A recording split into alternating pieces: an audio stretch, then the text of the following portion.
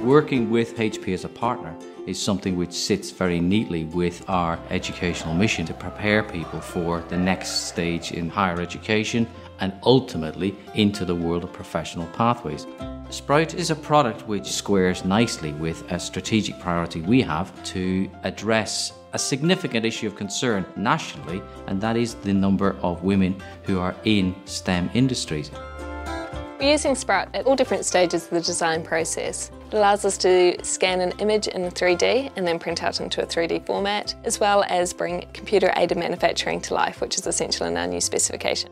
Sprout has been invaluable for our kinesthetic and visual learners. You can move between videos, images, pictures very, very easily. Having it as an all-in-one PC where you don't have to add on any extra devices, it's a great tool to have in the classroom.